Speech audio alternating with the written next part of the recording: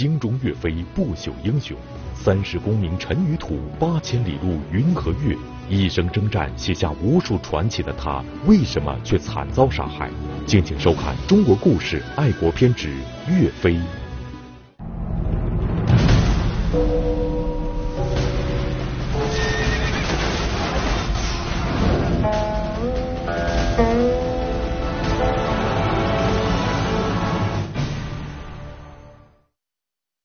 岳飞是中国历史上一个家喻户晓的传奇英雄。从大家所熟知的章回小说《说岳全传》，到广播评书《岳飞传》，再到近些年来层出不穷的影视歌作品，说岳飞、唱岳飞的历史传统从来没有中断。人们把对他的无限敬仰全部融汇到了对他传奇故事的解读和欣赏之中。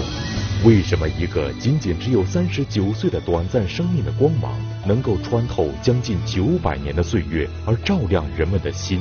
为什么那些大家耳熟能详的故事，几乎被我国所有的艺术形式所钟情、所表达？是因为他运用之妙、存乎一心的军事智慧？还是因为他文臣不爱钱，武臣不惜死，天下太平矣的社会理想；是因为他还我河山的豪迈气魄，还是因为他尽忠报国的人生追求？解读史书里真实的岳飞，寻找制造千古冤案的元凶。百家讲坛栏目邀请河南大学王立群教授为您讲述系列节目《中国故事爱国篇之岳飞》。岳飞是一一四一年死于杭州的风波亭。一个人死去以后，在八百多年以后，人们还能够念想着他，这个非常不容易。我可以举出两个例子来说。第一，叫文学作品层出不穷。我们看岳飞去世以后，岳飞是死于宋代了。从元代开始，我们就可以看到。元代最有代表性的文学形式是杂剧，元杂剧有一个《地藏王征东窗事发》，这个杂剧写的就是岳飞的事情。到了明代，明代的戏曲叫传奇。另外，明代有小说，大家知道，明代是戏曲小说非常繁荣的这个时代。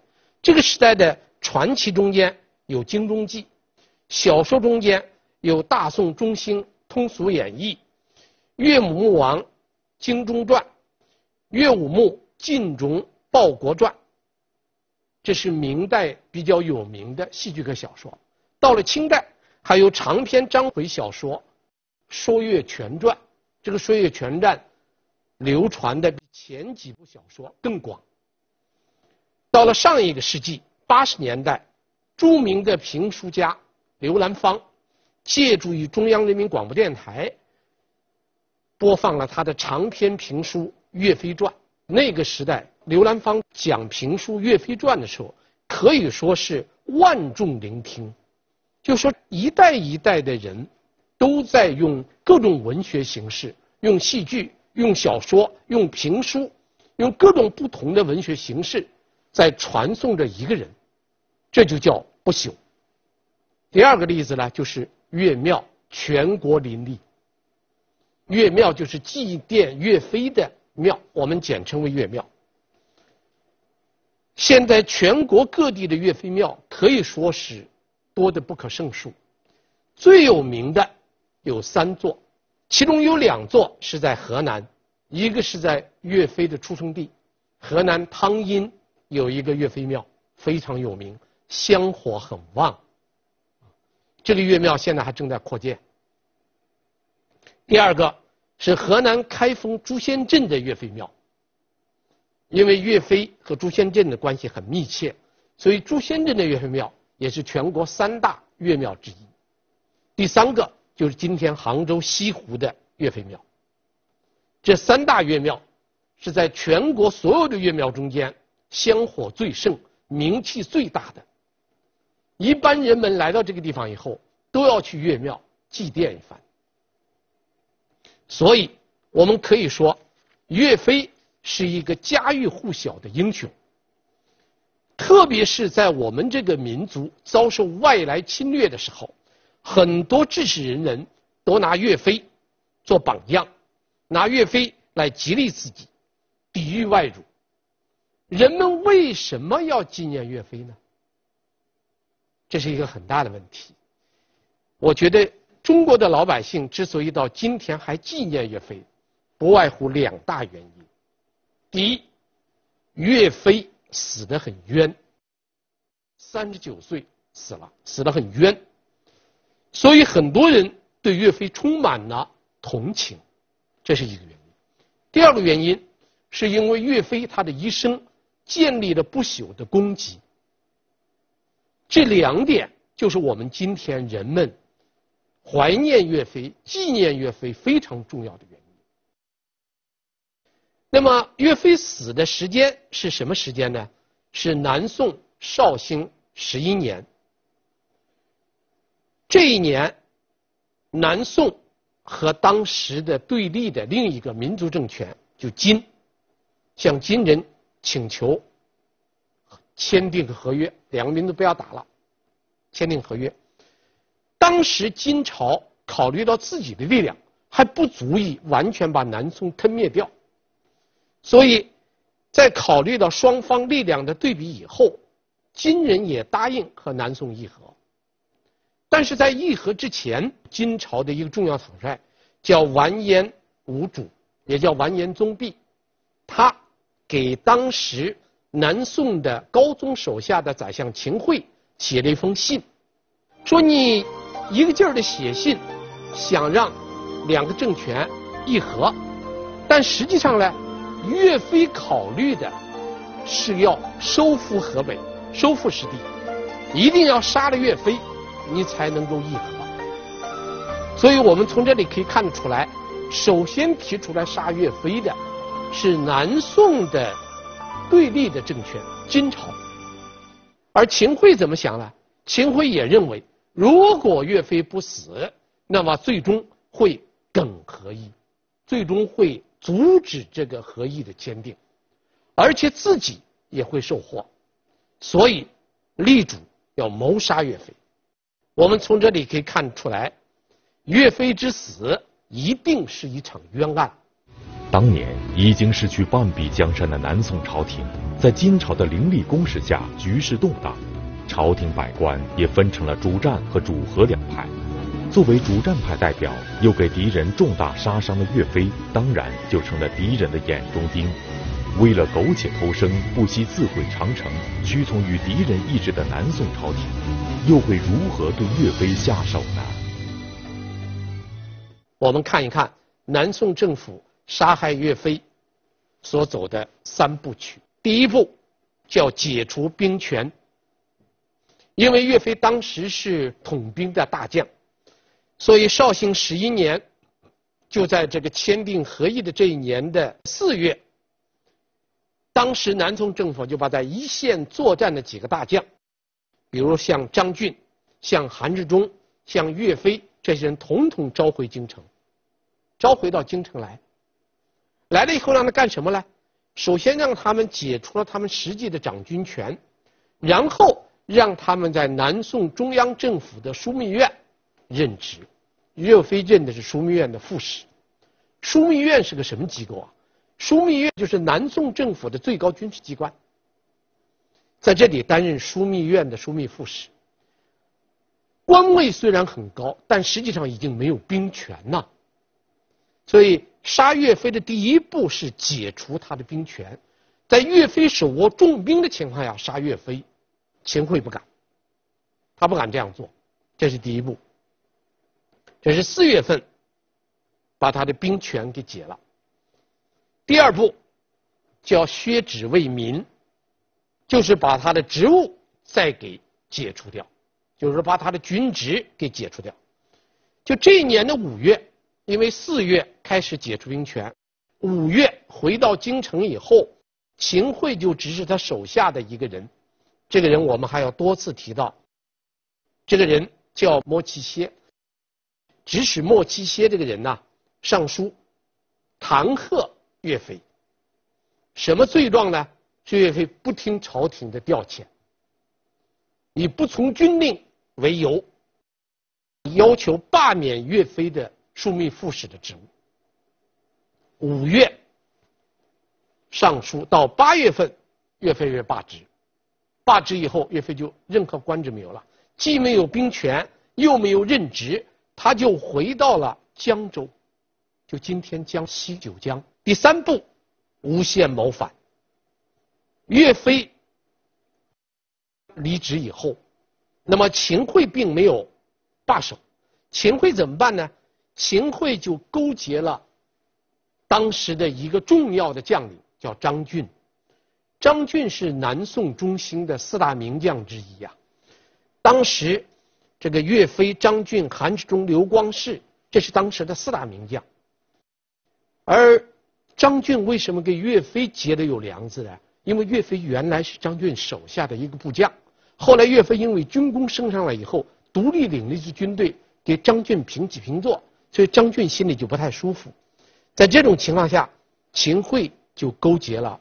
这个张俊，而且唆使了岳家军，就岳飞手下的两个将领，一个叫王贵，一个叫王俊，让这两个人首先去诬告岳飞手下的另一个重要将领，叫张宪。诬告张宪干什么呢？说张宪想谋反，张宪要在襄阳造反，通过造反以后夺得兵权。还给岳飞，而且说岳飞的儿子岳云也参与了这件事情，他给张宪写了有信，这就是谋杀岳飞的所谓的证据。到十月十三号，岳飞、岳云父子奉命来到京城，被投入大理寺的监狱。到了监狱以后，就要审这个案子，啊，实际上岳飞不知道。这是一个精心策划的杀害他的一个阴谋。首先，让御史中丞何柱来审理这个案子，初命御史中丞何柱举止：非列商以备事著，有尽忠报国四大字，深入府里，继而阅时无左验，著明其无辜。《宋史·岳飞传》的这段记载可以看得很清楚。第一个审理岳飞这个案子的是御史中丞何柱。何柱审这个案子以后啊，接手这个案子以后，岳飞是当庭把自己的衣服给撕开了，撕开以后露出自己的后背，让何柱看，在岳飞的后背上，当时刺了四个大字，叫“尽忠报国”，而且这四个字啊，刺得很深。所以叫深入腹，何柱非常震惊，他从来没看到一个大将军、一个大将身上刻了这个刺了“尽忠报国”四个字，然后再查一查这个案子，并没有其他的佐证的材料，所以何柱这才知道岳飞是一个无辜的受害者，他就报告给秦桧，秦桧说这是上意。所谓上意，就是宋高宗的意思，这是皇上的意思。我们从这里可以看得出来，岳飞之死确实是一个冤案。这个冤案的形成，很明显是由于金人要杀岳飞所致。那么这种情况下审不下去了，怎么办呢？秦桧一看，这个何柱不愿意判岳飞的罪，就换了莫其歇。莫其歇支持岳飞是两大过失，一个过失是指斥圣语，第二大过失是坐观胜负。指斥圣语是指岳飞啊，指着皇帝的车驾，指着皇帝的车骂，等于是直接骂皇上了，这肯定是杀头之罪了。第二呢是坐观胜负，就是不听皇上的调遣，不听中央政府的调遣，擅自带军行动。以这两大罪名加害在岳飞头上，这件事情搞得很多人不满意。其中最有名的就是韩世忠。我们现在根据《宋史·岳飞传》的记载，韩世忠不平。当时南宋的另一个大将韩世忠心里非常不平，直接找着秦桧问他到底是怎么回事。秦桧说了：“妃子云与张献书虽不明。岳飞的儿子岳云和张献这个互通书信的是虽然不明，其事体莫须有。但这件事儿很难说，他没有，或许有。这个莫须有就是或许有。诗中曰：“莫须有三字，何以服天下？”你用“莫须有”三个字，怎么能让天下人服你呢？在这样一个情况下，许多人不满意，主审官认为他不实，大将认为他不实。就在这种情况下，秦桧还是写了个纸条，就在绍兴十一年的除夕写了个纸条送到监狱里去。当时岳飞就被杀了。岳飞死的时候三十九岁。当这个岳飞死了的消息传到金朝的时候，金朝的大臣们说了一句很有意味的话，叫“和议自此坚矣”。这个宋金的合约从此以后就可以落实下来了。这个合约就是中国历史上。非常有名的绍兴和议，啊，这是一个很屈辱的一个和议，这是我们今天要讲的第一件事情，就岳飞之死，因为岳飞死的很冤枉，主审官、当时的大将都不认为岳飞有罪，而秦桧最后是以莫须有的罪名把岳飞给杀掉了，所以到今天为止，人们始终认为这是一个冤案。当然，二十年以后，到了绍兴三十二年，孝宗继位，就给岳飞平反了，而且赠给他谥号。到宁宗朝，又追封他为娥王。这是我们要讲的第一个问题，就岳飞死得很冤，这是导致我们今天中国老百姓纪念岳飞的非常重要的原因。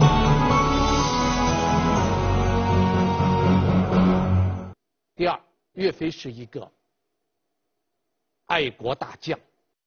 我们讲完岳飞之死以后，就存在了下面的问题了。那么金朝为什么必须要岳飞去死呢？南宋政府为什么要配合金朝去杀岳飞呢？这两个问题其实是一个问题。这两个问题的关键那个什么问题呢？就岳飞一生究竟干了什么？岳飞的一生到底都干了什么？我们简单的梳理一下岳飞的一生，我们会发现，岳飞的一生啊，大体上可以划分为四个阶段。第一个阶段叫投身从军，因为岳飞是公元一一零三年，也就宋徽宗宋徽宗的崇宁二年，出生在河北西路象州的汤阴县。就今天河南的安阳的汤阴县，啊，他出生的以后呢，就赶上这个北宋灭亡的那个时代。到了宋徽宗宣和七年，这个金人就开始大举南下了。第二年，一一二六年到一一二七年，北宋就灭亡了。当时，当北宋的都城被包围的情况下，宋徽宗传位给宋钦宗，宋钦宗就送了一封密信给当时的这个康王赵构，叫康王赵构做了兵马大元帅，召集天下的兵来勤王。所谓勤王，就是来保护中央政府。在这种情况下，岳飞参军了。岳飞是响应这个号召，投身参军，抵抗金兵。在他从军之前，他的母亲在他的背上刺了四个字，这四个字就是我们刚才提到的，叫“尽忠报国”。第二个阶段，就岳飞担任低级将领的阶段。岳飞早年从军的时候啊，只是做了一个这个很低级的将领。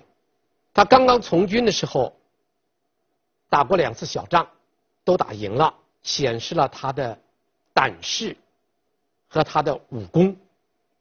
金康二年，也就是公元一一二七年的四月，北宋的都城汴京被金人攻破，徽钦二帝加上二十多个皇子，还有皇宫的所有的嫔妃，加上中枢的大臣，统统被金人一掳而走。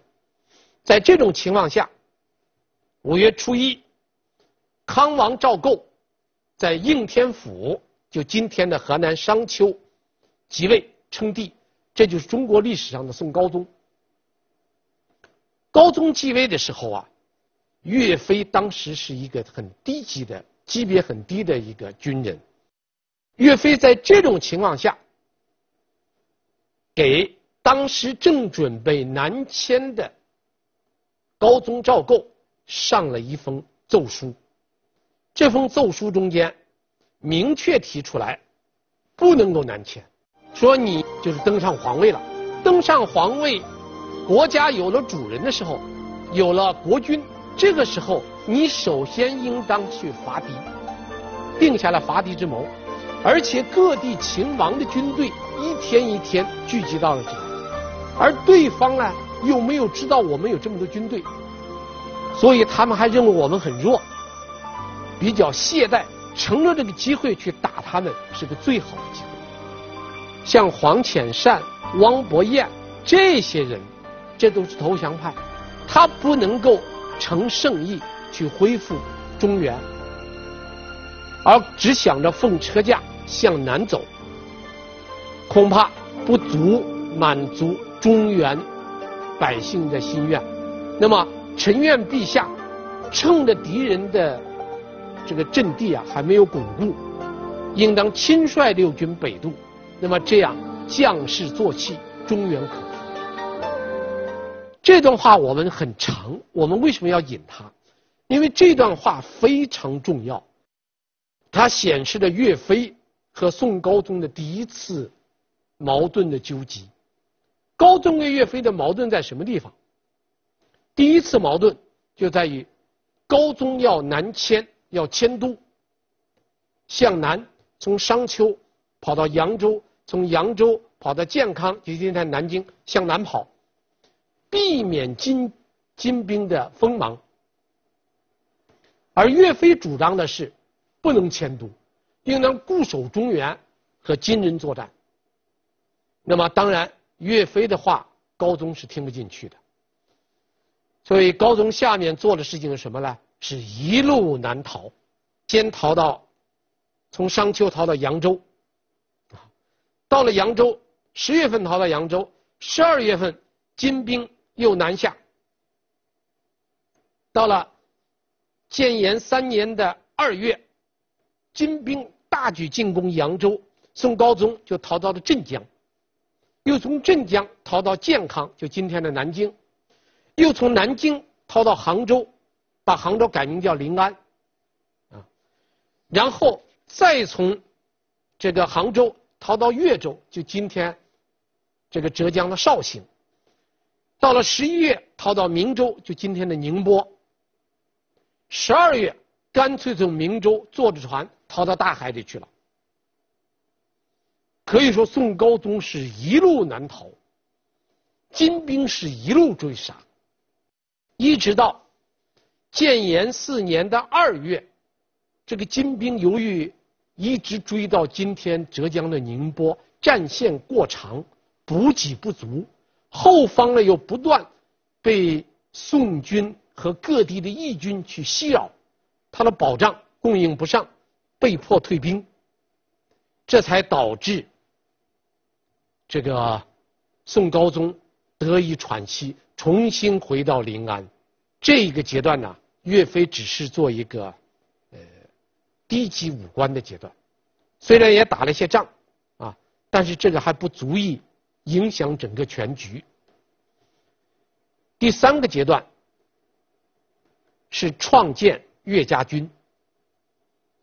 创建岳家军是源于什么呢？源于健康的失守。健康失守以后，岳飞的上司，岳飞的上司原来是宗哲，宗哲死了以后呢，是。杜充，这个杜充作为岳飞的上司，在建康失守以后，杜充投降了。杜充投降以后，岳飞不降，所以岳飞就开始领着自己的部队，从东京留守府带来了两千人，开始了独立作战。这就是所谓的岳家军的前身。到了第二年，就建炎四年的四月，岳飞打了一个不小的胜仗，就是在建康东南的牛头山设伏这一仗大败金军，岳飞收复了建康。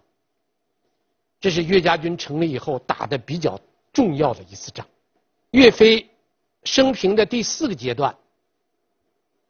是升任高级将领的阶段，升任高级将领呢，是在绍兴四年，也公元一一三四年的五月，岳飞率领军队收复了襄阳六郡，这一次战斗啊，把长江以南的这个金兵全部剪除殆尽，导致宋金两家是以长江为界，长江以北是金兵。长江以南为宋兵，岳飞由于立的这个功，所以在八月份被授予清远军节度使。这是岳飞开始担任高级职官了。这个时候岳飞才三十一岁，啊，也可以说是这个两宋历史中间第一个最年轻的节度使。这以后，岳飞。又开始升崇信军节度使，他的职务呢不断的上升，到绍兴七年被封太尉。公元一一四零年，也就是南宋绍兴十年，在休养喘息之后，北方金朝政权内部发生政变，金兀术掌握大权之后，立即领兵南下，试图一举灭掉南宋朝廷。危难时刻，岳飞奉命率兵北伐。这次北伐虽然岳家军捷报频传，但岳飞却由此陷入了巨大的矛盾和危机之中。绍兴十年这次北伐，岳飞打得很顺手。他把当时的呃陕西的东南部和河南的西部，像蔡州、像鲁山这些地方都掌握住了，都掌握控制在这个宋军的手里边。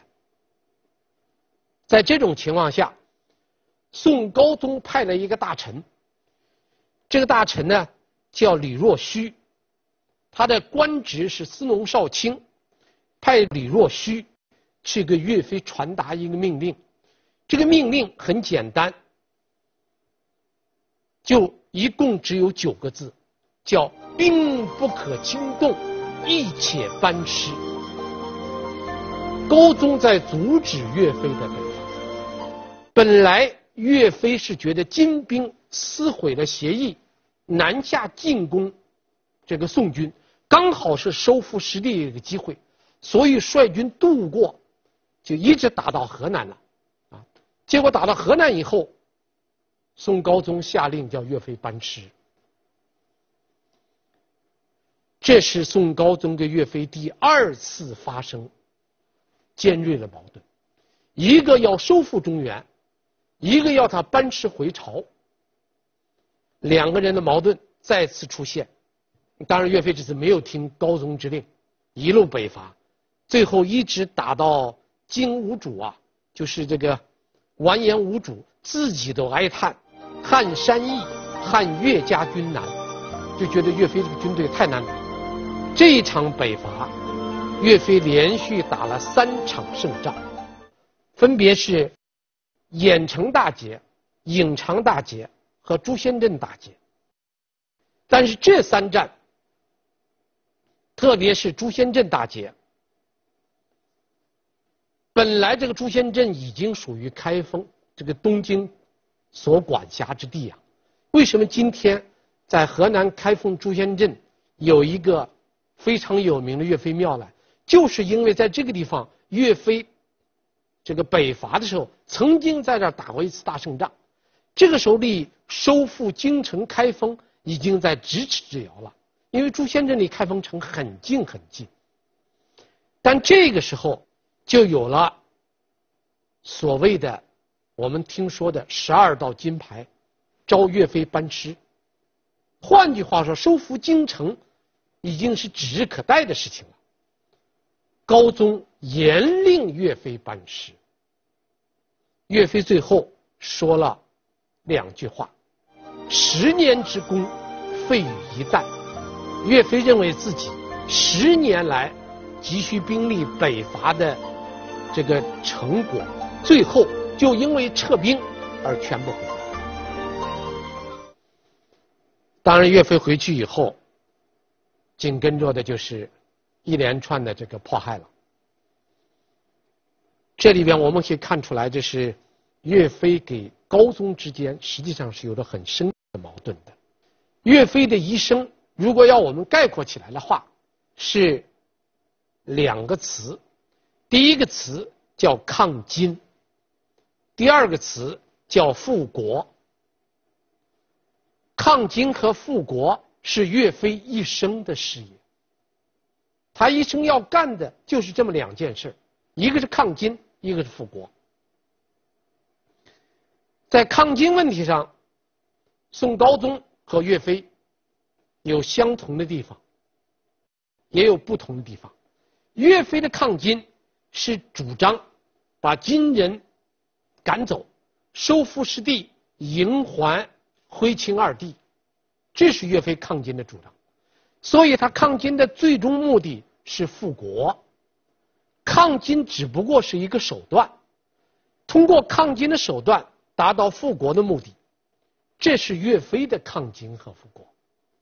高宗也主张抗金，所以岳飞早期才能从低级武官上升到高级武官，这个过程中间和高宗的目标是一致的。但是高宗的抗金目标不是复国，高宗抗金的目标很显然。是巩固地位，保住半壁江山，这是宋高宗的目的。两个人在这一方面有很大的分歧。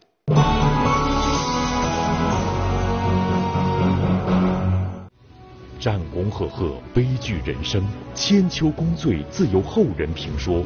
如何理解历史评价中的忠与奸？谁才是罪魁祸首？中国故事，岳飞传奇。正在讲述。围绕着岳飞呢，还有一个很重要的问题，就是评价的问题。对岳飞的评价，过去人们往往用“忠”和“奸”这两个字评价岳飞比较多，认为岳飞是忠臣，秦桧是奸臣，所以忠奸说在相当一长时间内大行其道，流传的很广。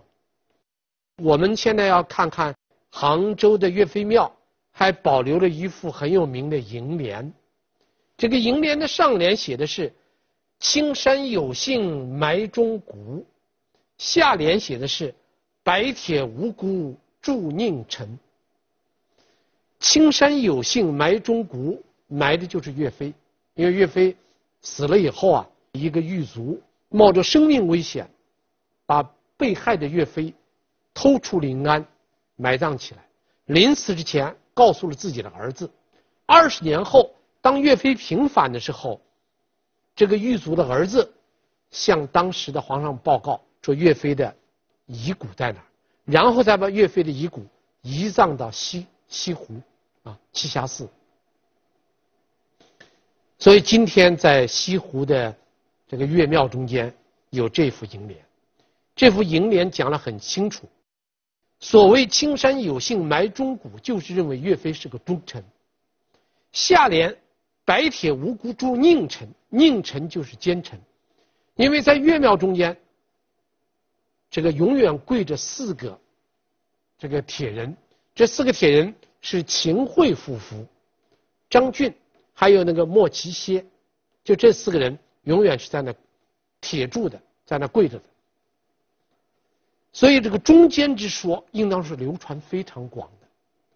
人们在说这个中间、谈论这个中间这个评判的时候，自然而然的就把岳飞之死的责任放在了秦桧的身上。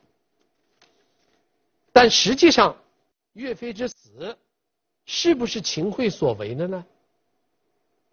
和秦桧有多大的关系的呢？我想我在这里边引一段很有名的词，这个词呢，据说是名人文征明所写。岂不念将起处？岂不念挥亲入？但挥亲既返，死生何属？千载修谈难度错，当时自怕中原复。笑区区以会以何能逢几遇？这个词很巧妙的地方在说什么呢？什么意思呢？你难道不想一想，将其啊，就是国土醋，就是缩小了。你难道不想一想？这个大宋的国土缩小到这么一个程度吗？你难道不想一想，徽宗、钦宗两代皇帝在金国受那种屈辱吗？但是，如果徽宗给钦宗返回了以后，此生，这是用宋高宗赵构的口气说了，如果徽钦二帝回来，那么高宗赵构会怎么样呢？那你很明显要把什么呢？要把地位交给你的哥哥，交给你的父亲。所以，千载修谈难度错，不要再说了难度错不错。当时自怕中原复，这是揭示宋高宗赵构的心理啊。这个高宗最害怕的是收复中原，一旦收复中原，他爹回来了，他哥回来了，他爹是宋徽宗。他哥哥是宋钦宗，这两个皇帝回来了，他怎么当皇帝？所以，这个词的作者说：“笑区区以会以何能啊？”人们都认为这是秦桧搞的鬼。一个小小的宰相有多大的能耐呢？不过是这个宰相，他迎合了高宗赵构的阴暗心理罢了。这首词。应当说，把宋高宗赵构的阴暗心理啊揭示的很清楚。我们从这词看得出来，高宗赵构之所以要杀害岳飞，之所以要阻止岳飞收复中原，其实最害怕的什么呢？怕他哥回来，怕他爹回来。一旦他哥他爹回来，他的皇帝位子就没有了。这就是《宋史岳飞传》最后。有一段很精当的评论：盖非与会势不两立，使非得志，则金臭可复，宋池可雪；会得志，则非有死而已。高宗忍自弃起中原，故忍杀非，呜呼冤哉！呜呼冤哉！这个《宋史岳飞传》最后这段话讲得很清楚，他认为。岳飞跟秦桧两个人，他们的政政治主张是尖锐对立的。两个人政治主张完全不同，一个要收复中原，一个不允许收复中原。这是秦桧跟岳飞最集中的矛盾，就在这儿。如果让岳飞得志的话，中原可以收复，金仇可以得报，宋氏可以雪；如果让秦桧得知的话，那么岳飞只能够死。既然如此的话，高宗既然放弃了中原，所以他就只能够杀岳飞。所以岳飞之死是个天大的千古冤案。如果我们这样来看，那么我们就明白，岳飞之死其实真正的幕后的凶手是宋高宗。高宗是真正的凶手。秦桧是个什么角色呢？秦桧不过是高宗杀害岳飞的一个帮凶而已，一个很不光彩的帮凶。啊，这应当是我们今天看这个事实的看得比较清楚的一点。啊，以上呢，我们介绍了岳飞的一生和岳飞这个最后被冤杀和他被冤杀的原因。这一讲我们就讲到这里。